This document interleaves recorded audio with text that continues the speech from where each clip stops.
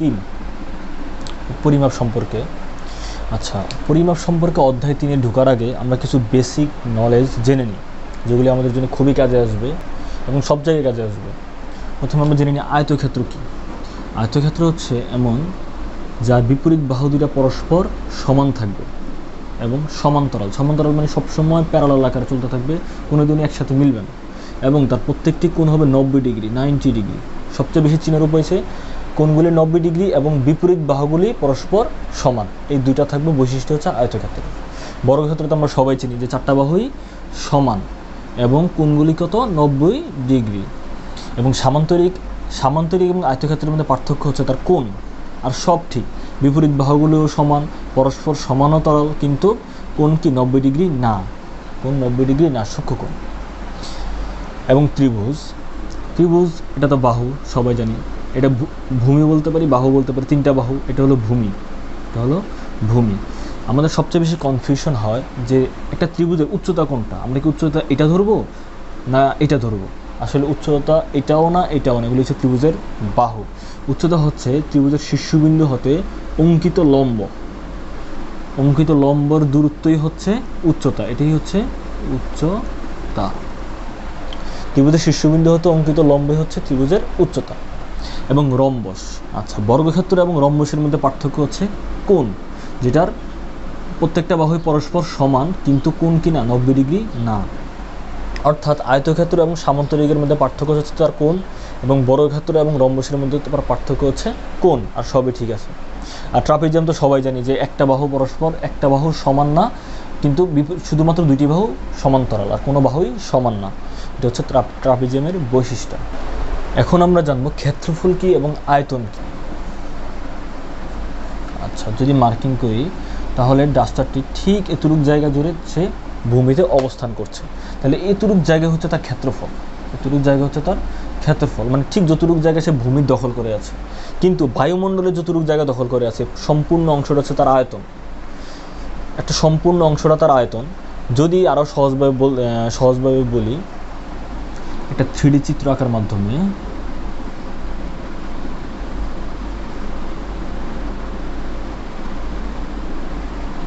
আচ্ছা এই যে একটা বাক্স, এই বাক্সটা কি এই জায়গাটা দখল করে আছে না? তাহলে এই জায়গাটা হচ্ছে তার ক্ষেত্রফল। আর যদি আমি পুরো চিন্তা করি বাক্সের পুরো ফাঁকা জায়গাটা, পুরো ফাঁকা জায়গাটা, এই পুরো ফাঁকাটা জায়গাটা হচ্ছে তার আয়তন। ক্ষেত্রফল বের করতে তার দৈর্ঘ্য এবং প্রস্থ গুণ করলেই হয়ে যায়। কারণ ক্ষেত্রফলের মধ্যে আর তৃতীয় কোনো রেখা বা তৃতীয় কোনো অবস্থান আমরা দেখতে পাই না। সেজন্য ক্ষেত্রফল বের করার সময় শুধু প্রস্থ এবং দৈর্ঘ্য গুণ করলেই ক্ষেত্রফল বের হয়ে যায়। কিন্তু আয়তনের ক্ষেত্রে আমরা দেখতে পাই একটা বস্তুর উচ্চতা পাওয়া যায়, তার প্রস্থ পাওয়া যায় এবং তার দৈর্ঘ্য পাওয়া যায়। তাহলে এই তিনটার গুণফলই হচ্ছে তার আয়তন। আচ্ছা এটা মুখস্থ করা কিছুই নেই, দেখছেন? কি সহজ। আয়তন আমরা যখন বের করব তখন একটা বস্তুর উচ্চতা আছে, প্রস্থ আছে, দৈর্ঘ্য আছে। তিনটার গুণ করলেই আয়তন। আয়তন মানে সে কতটুক জায়গা ধরে আছে মানে পুরা ফাঁকা জায়গাটা, এবং ক্ষেত্রফল কি? তার দৈর্ঘ্য এবং প্রস্থের গুণফল। শেষ। আচ্ছা। তাহলে আমরা ত্রিভুজের ক্ষেত্রফল বের করব কীভাবে? ভূমি গুণন উচ্চতা। মানে হাফ গুণন ভূমি গুণন উচ্চতা। এই দুইটার গুণফল এবং অর্ধেক দ্বারা ভাগ করলে আমরা কি পেয়ে যাব? ত্রিভুজের ক্ষেত্রফল। এটা মুখস্থ। আর প্রত্যেকটা ক্ষেত্রফলের সূত্র আমরা যখন লিখব, তখন লিখব এখানে বর্গ একক। বর্গ একক। এই এককটা পরিবর্তন হবে। যখন যদি আমার এটা মিটারে থাকে, তাহলে এক বর্গ মিটার। যদি সেন্টিমিটার থাকলে বর্গ সেন্টিমিটার। যদি ফিটে থাকে, তাহলে বর্গ ফিট। এই আর কোনো পরিবর্তন হবে না। এবং আমরা আরেকটা জিনিস দেখব, পিথাগোরাসের উপপাদ্য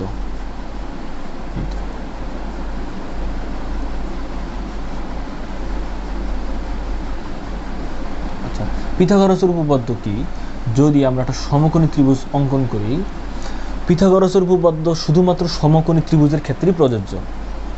তাহলে এ বি সি পিথাগোরাসের উপপাদ্য কি?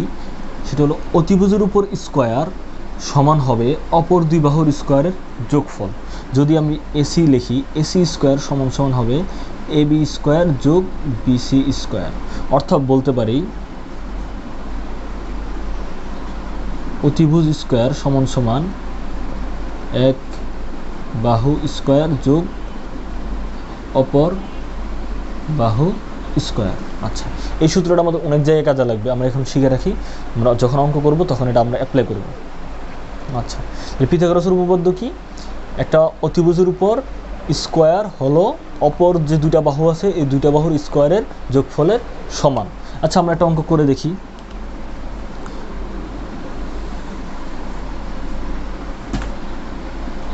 যদি এই বাহুটার দৈর্ঘ্য তিন হয় এবং এই বাহুটার দৈর্ঘ্য চার হয়, তাহলে আমরা অতিভুজের মান বের করব। কীভাবে বের করি?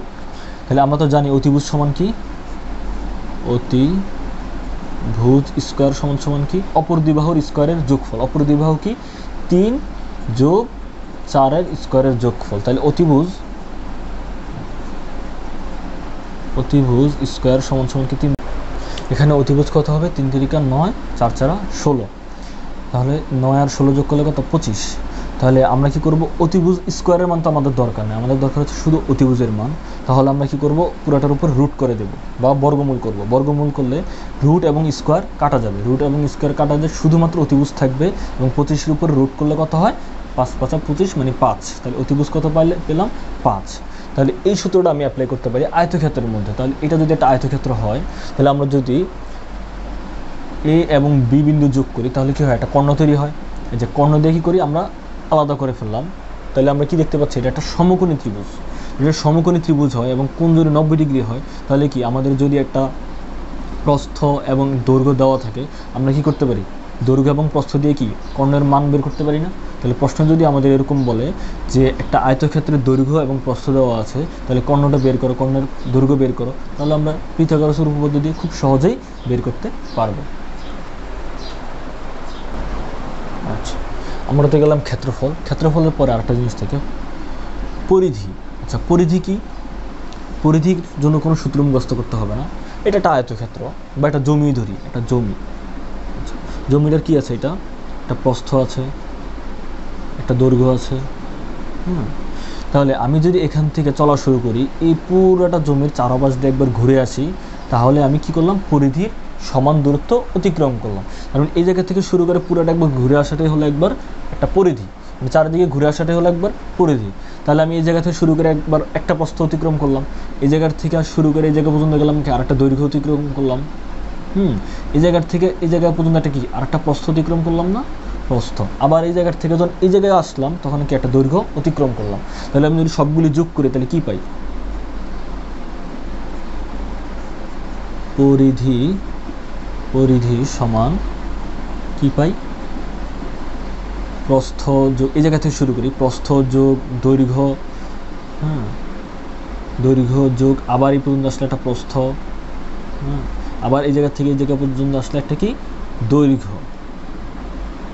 আচ্ছা দৈর্ঘ্য পাই। আচ্ছা আমরা দেখতে পাচ্ছি যে একটা আয়তক্ষেত্রের মধ্যে কি দুইটাই দৈর্ঘ্য সমান না? দুইটা দৈর্ঘ্য সমান হয়, তাহলে আমি কি লিখতে পারি?